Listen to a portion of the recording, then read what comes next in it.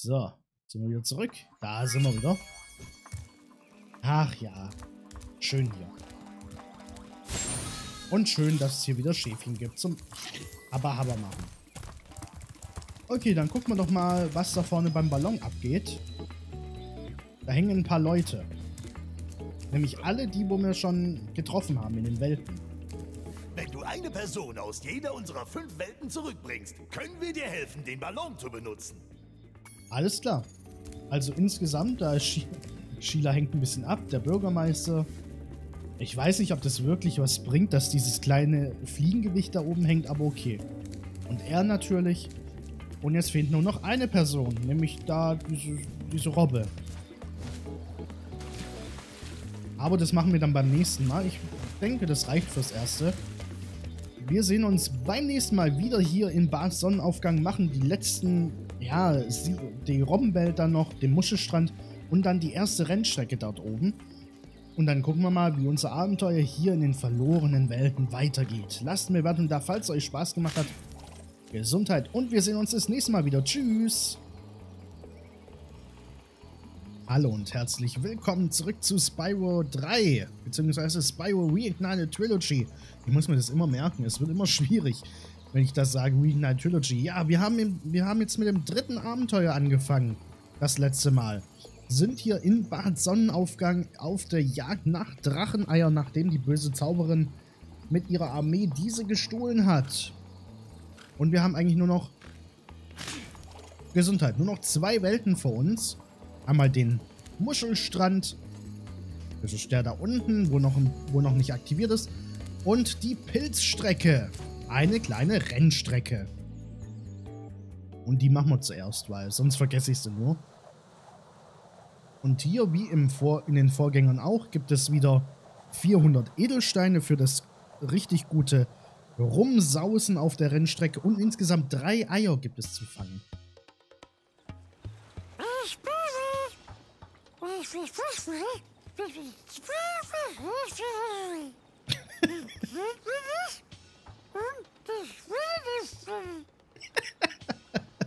Was ist denn das für eine Stimme? Alter, der, wo Demus Sparks gesprochen hat, der verdient eine Goldmedaille. Alter, wie geil.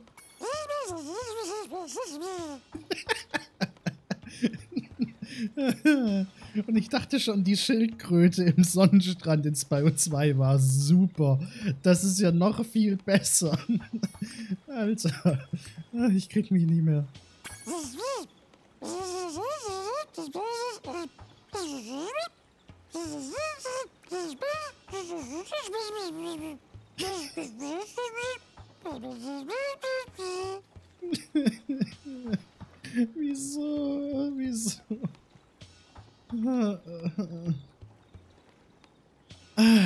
Alter. Ist das geil. Gibt es dafür wieder einen Skillpunkt? Nee, gibt's nicht. Okay. Alles klar. Prinzip bleibt dasselbe. Wir müssen alle vier Achter-Dinger absolvieren. Dann kriegt man dafür alle Edelsteine und sogar ein Drachenei. Vor allem, man hört halt so ganz leicht, wenn man sich ein bisschen konzentriert. Und dann hört man auch, was Spice tatsächlich sagt. Also auch auf Deutsch. Also, das ist ein deutscher Synchronsprecher, wo das da macht. Oh Mann, wie geil. Leute von Toys for Bob und Activision, ihr seid einfach nur noch verrückt. Ihr müsst diese Qualität müsst ihr aufrechterhalten für sowohl Crash als auch Spyro. Bitte. Bitte, ich flehe euch an. Und wenn ihr das machen würdet, dann werde ich euer aktivster Kunde. Versprochen. So, und das war das. Wunderprächtig. Cool. Äh, ja, nochmal ein neuer Versuch, bitte.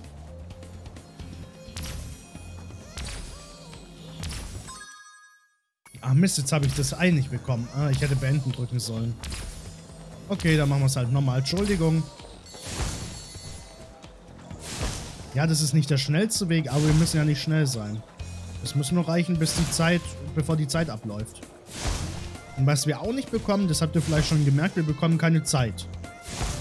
Wir haben einfach eine vordefinierte Zeit. Und fertig. Die armen Spinnen. Die schreien richtig. Aber der, ihre Spinnennetze sehen irgendwie komisch aus mit diesem Grün. Es sieht eher aus wie Lianen. Hm. Strange. So, so. Mist. Jawohl, jawohl. Jawohl, jawohl. Und tschüss. Das war sogar noch schneller als vorhin. So stelle ich mir das vor. Okay. Beenden.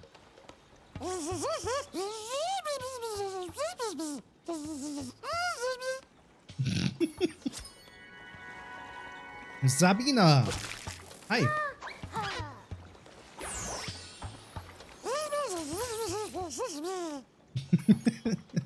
Schmetterlingsrennen. Es gibt jetzt nämlich noch Rennen.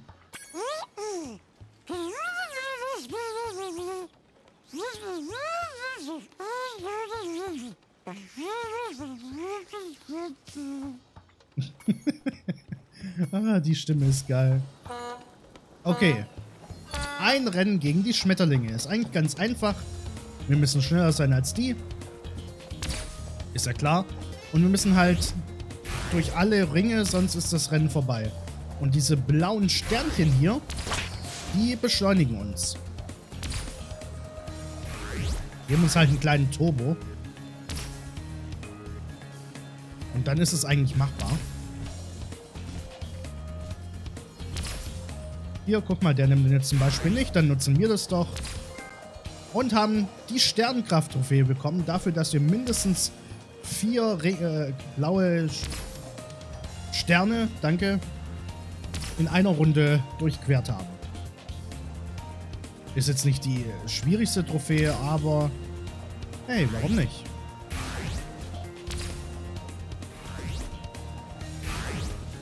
Und es ist neue Musik, das fällt mir jetzt erst auf. Weil die Originalmusik, warte, die hört sich doch anders an. Hey, die hört sich auch hier anders an? Okay, dann ist es die amerikanische Version, weil in der deutschen waren alle, waren alle Strecken gleich. In der europäischen. Also in der amerikanischen sind sie jetzt wahrscheinlich wieder unterschiedlich gewesen. Das weiß ich nicht. Ich habe die amerikanische Spyro 3 Version noch nie gespielt. Aber ich könnte es mir tatsächlich vorstellen. Okay, interessant zu wissen tatsächlich. Ich weiß zumindest, dass der finale Bosskampf im europäischen Jahr einen Soundtrack hatte, der schon benutzt wurde bei einem anderen Bosskampf und ich den irgendwie passender fand. Und im amerikanischen hatte der ein separates, hatte der eine separate Musik. Das weiß ich noch. Der letzte, meine ich. Da hatte der nicht den Recyceln vom zweiten. Wir das noch hinkriegen? Es wird knapp. Ja, da vorne ist nämlich schon die Ziellinie. Nein! Was habe ich denn falsch gemacht? Oh, ich dachte, die Rennen sind einfach. Aber ich habe auch Schwierigkeiten gehabt beim originalen Spyro 3 Let's Play. Ich erinnere mich. Oh nö. Das wird mega, e, e das wird mega eklig.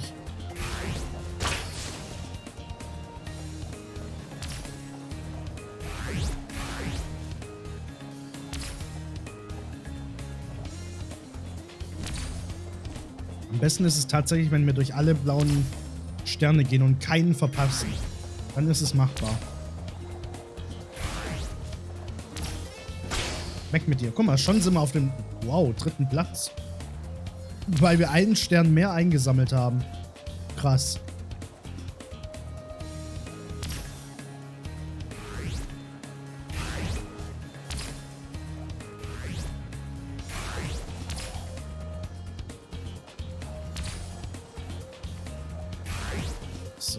Zweiter Platz. Jawohl.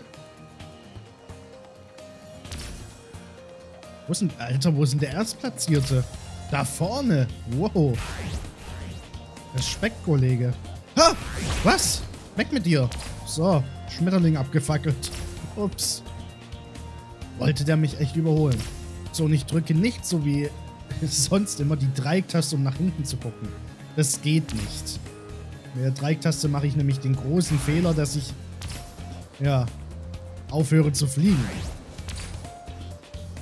Was halt in einem Flugrennen kontraproduktiv ist, habe ich mir sagen lassen. So. Jetzt bloß keinen Fehler mehr machen. Und dann haben wir das Rennen gewonnen. Aber irgendwie gefällt mir die Musik trotzdem, auch wenn es jetzt nicht die ist, wo ich kenne. Yeah! Cool.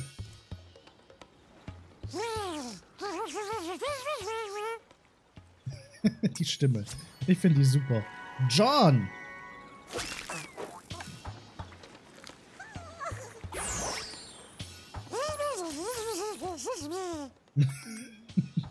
okay, wir müssen nochmal in den Zeitmodus. Und zwar ist jetzt hier irgendwo auf dieser Strecke Jäger unterwegs, den wir treffen müssen, um noch eine zusätzliche Aufgabe zu meistern. So wie halt in Avala. Gab es ja dann auch immer diese zusätzliche Mission, wo man eine Kugel gewinnen konnte. Hier halt in Form eines Eis. Hi. Oh, Schafe in fliegenden Untertassen sind gerade aus dem Nichts aufgetaucht und zerstören die Rennstrecke. Was? Ich muss ihnen wohl in meinem Flugzeug eine Lektion erteilen. Dann mach das. Achtung, Schafe, jetzt komm ich! Okay, drücke Kreis zum Feuern, drücke Viereck oder Kreuz für einen Turbo. So, jetzt spielen wir Jäger. Siehst du mal, wenn wir alles hier spielen dürfen. Oh. Ui, und tschüss. Ich, Hab ich ich habe nicht damit gerechnet, dass mich eins erwischt. Oh. Ja, geil. Scheiße. Der hat aber auch ein überdimensional großes Flugzeug. Das muss man halt auch dazu sagen. Das ist leicht kontraproduktiv. Im Vergleich zu den kleinen Schafstassen. Okay, warum stelle ich mich so blöd an?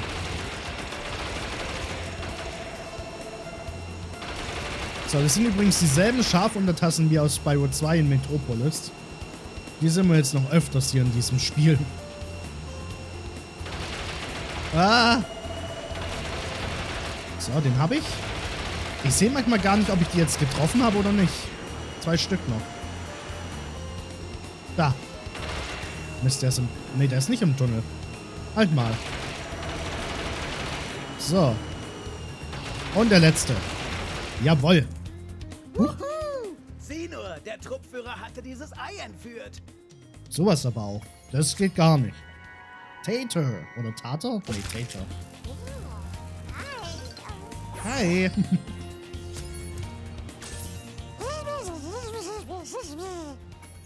Wir gehen jetzt. Oh, bitte, ich möchte mehr von dieser Stimme hören. Das ist, das ist gigantisch. Das ist super. Ich feiere das gerade. wie kommt man nur auf solche Ideen? Also ich finde das grandios, aber wie kommt man auf solche Ideen?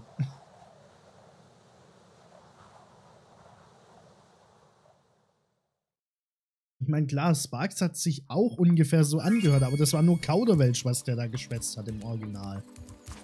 Hier versteht man wenigstens, was er sagen möchte.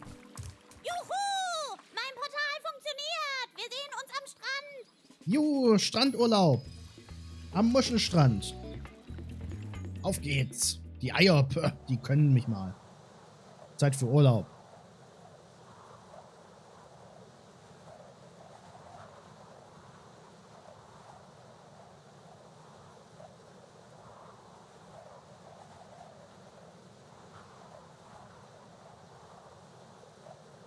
Und wir sind da. So, eine Wasserwelt. Yay. Während ich weg war, haben sich meine Freunde das U-Boot der Rhinoxe für eine Spritztour geborgt. Und dann sind sie mit einem riesigen Haufen Steine kollidiert. Das fanden die Rhinoxe natürlich überhaupt nicht lustig und haben meine Freundin in die Gefängniszelle hinter dir gesteckt. Das ist aber trotzdem auch nicht nett. Die Rhinoxe haben viele unserer Türen verrammelt. Aber du bist bestimmt stark genug, sie aufzubrechen. Drücke 4, um die Bälle zu zerschmettern. Ja, ich glaube, das kriegen wir hin. Okay. Der Muschelstrand ist ja so ein Mix aus Wasser und äh, Laufwelt. Also wir werden uns auch an der Oberfläche noch befinden, keine Sorge. Aber die Musik ist wieder schön. Und ja, da ist das U-Boot, wo sie... Ich ich, ich würde tatsächlich gerne wissen, in welchem Winkel die das bewegt haben, um das so da reinzuschmettern. Das würde mich tatsächlich interessieren. Weil, ähm, da ist Wand, da ist Wand. Wie haben die das hingekriegt? So, weg damit. Halt, Muschelstrand. Das hat doch bestimmt wieder irgendwas. Fang das irre Huhn. Das was? Was für ein irres Huhn? Hä? Was für ein Huhn? Hier ist doch kein Huhn. Hier ist eine Ente. Das sind meine Schmetterlinge. Was für ein Huhn?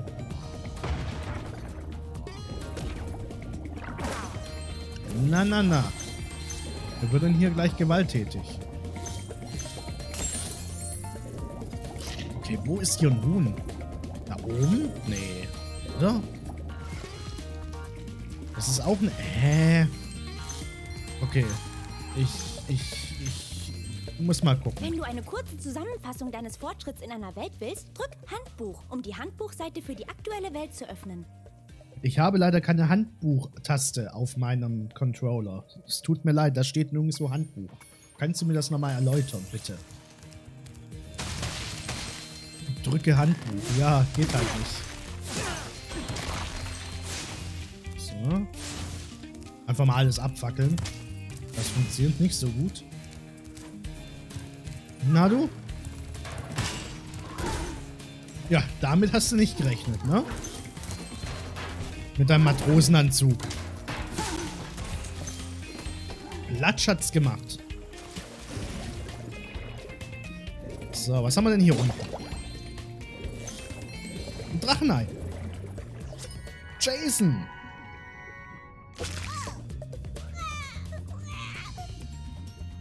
Warum weinst du denn mal, Kleiner? Hm? Ist alles gut. Ist halt ein bisschen nass hier. Dann schwimm halt nach oben. Dann wird alles wieder wärmer. Jawohl.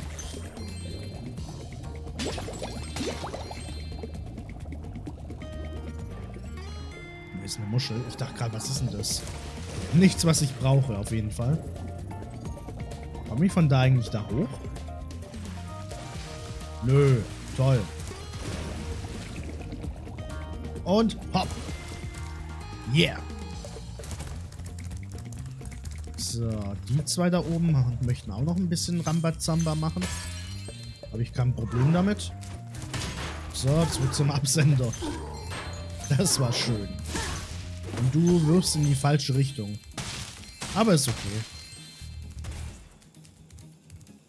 Solange es mich nicht trifft, ist alles gut. So. Einmal, zweimal. Aber schaufeln können wir nix. Du bist immer noch nur eine Ente. Du bist kein Schaf. Äh, Huhn.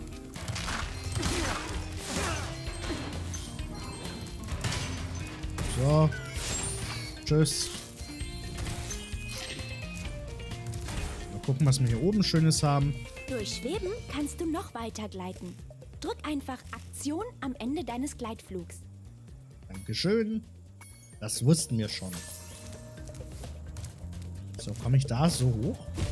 Ja. Cool.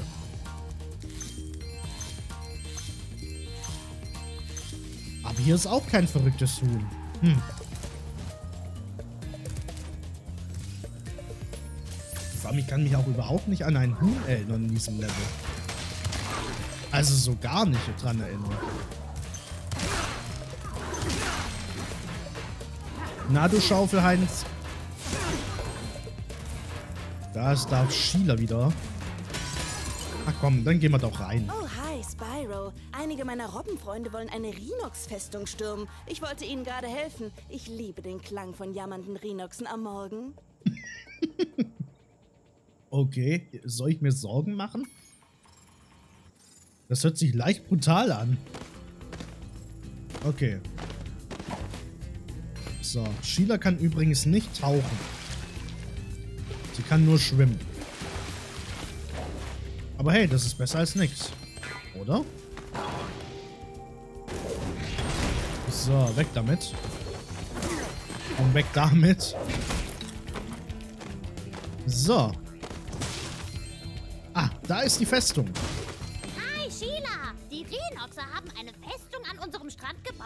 Wollen sie in die Luft jagen. Du musst nur erst alle Geschütze für uns zerstören. Wir zünden jetzt eine Bombe. Also sorg dafür, dass alle Geschütze platt sind, bevor die Zündschnur abgebrannt ist, okay?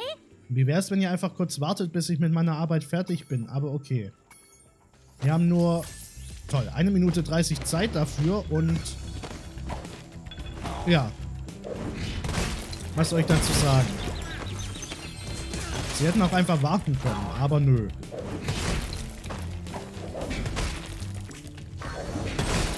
So. Und bam. Und bam. Und bam. Und nochmal das Ganze. Weil es so schön Boom macht.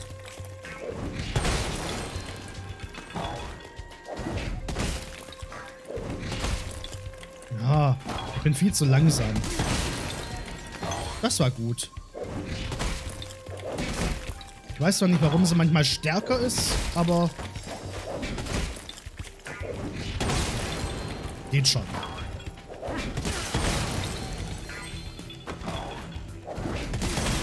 So.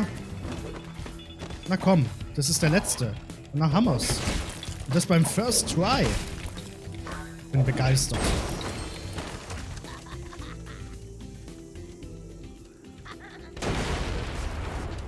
Boom.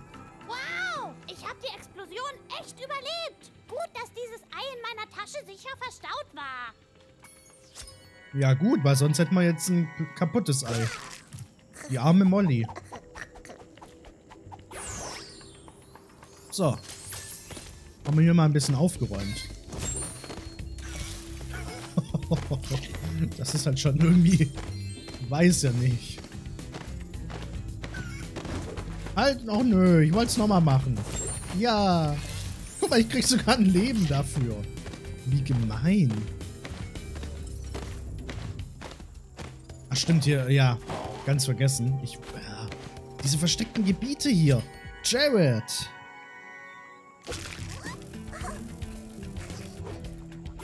Das war süß.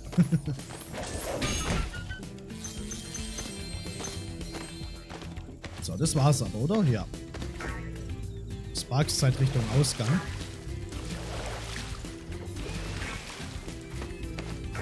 So. Aber immer noch keine Spur von diesem Huhn. Na, Kollege. Macht Spaß. Warte mal. Geht das noch? Kann ich diese, diesen Baum kaputt machen? Nein. Oh. Ist langweilig. Ich glaube nämlich, dass man die Bäume wegsprengen konnte mit diesen Fässern. So. Immer noch kein Huhn. Ich bin gerade echt verwirrt. Hi. Uah! Die schießt, ja, stimmt. Ganz vergessen. Ich wollte euch einfach mal beobachten. Hab dann gemerkt, dass es keine gute Idee ist. Ah. Was so Gegner, wie ich sie hasse.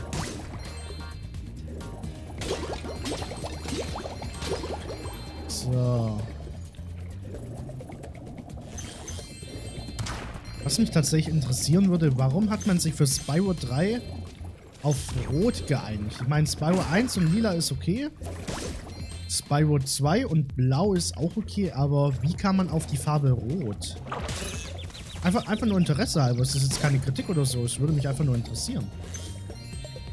Weil man hätte ja auch Grün oder Gelb nehmen können. Als Beispiel. Da ist noch, guck mal. Ja, und die ganzen Feinde sind auch noch da und die treffe ich einfach nicht, weil ich zu dumm dafür bin. So, das war einer. Ach, das ist so. Hä? War das ein Huhn? Das habe ich gar nicht gemerkt. Okay, ich, ich nehme es mal so hin. Finde es natürlich gut.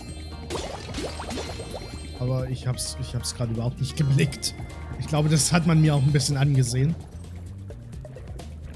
So, okay. Machen wir erstmal diese Aufgabe.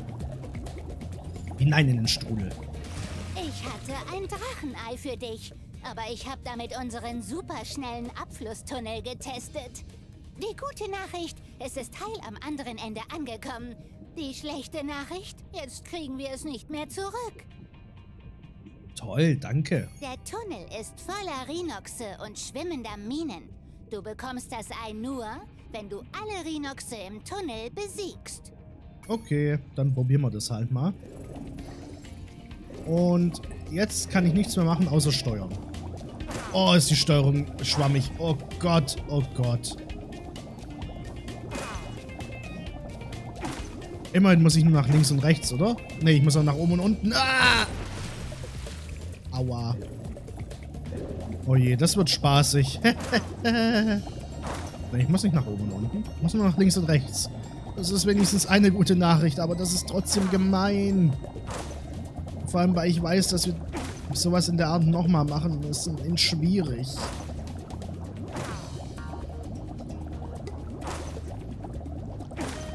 Da ist das Ei. Ja, geschafft. Dieses Ei hat eine überraschend gute Strömungsdynamik.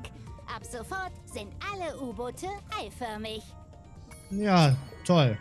Duke ist einfach euer Versuchskaninchen gewesen. Gesundheit. Ich weiß nicht, ob ich das gutheißen mag. So. Hier oben ist auch noch was. Das kann man echt leicht ver verpassen. Noch eine Aufgabe.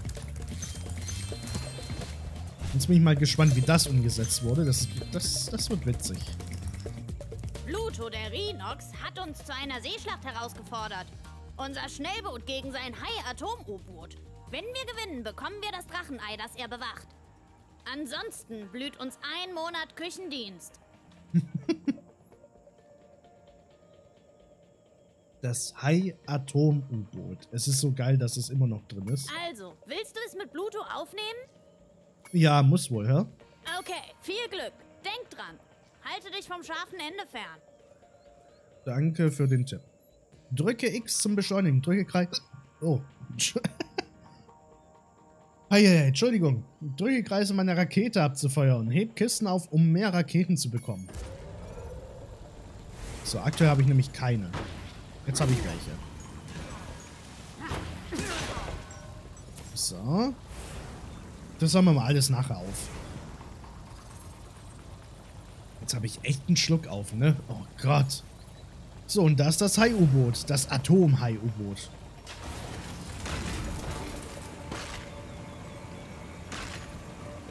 Okay, wir sammeln erstmal ein bisschen Munition.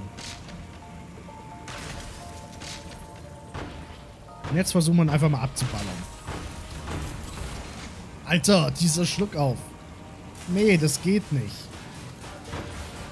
Ja. Ich habe übrigens null Ahnung, wie sich das gerade steuern lässt. Ah! ich hasse mich. Wieso muss ich denn ausgerechnet jetzt einen Schluck aufkriegen? Ey, hör auf. Der lacht mich aus, weil ich einen Schluck auf habe. Ich weiß es doch jetzt schon.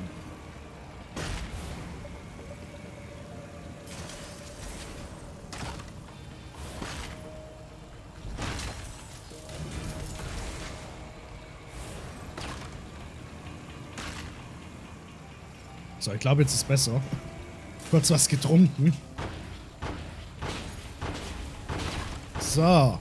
Tschüss. Wow, das ist das erste Mal, dass Pluto verliert. Bis Ihr bald, Drachen Pluto. müsst sehr talentiert sein. Ich hoffe, das Ei war den Ärger wert. Ja, war's schon mal. Wir haben auch die Trophäe bekommen, dass wir ihn einfach besiegt haben. Wunderbar. Ich habe den Namen nicht mitbekommen. Nein. Oh, tut mir leid, wie auch immer du jetzt, wie auch immer du jetzt siehst. Es tut mir sorry. So. Alter, kriege ich da tatsächlich während dem Kampf unseres Jahrhunderts einen Schluck auf. Das ist doch nicht wahr. Das ist mir auch noch nie passiert während einer Aufnahme. So. Dann haben wir da unten, glaube ich, noch ein paar Schätze. Ja, natürlich haben wir da noch Schätze. Ein paar ist gut. So. Da ist noch eine Flasche. Okay. Und dann noch hier unten. Ah, halt, halt. Ah.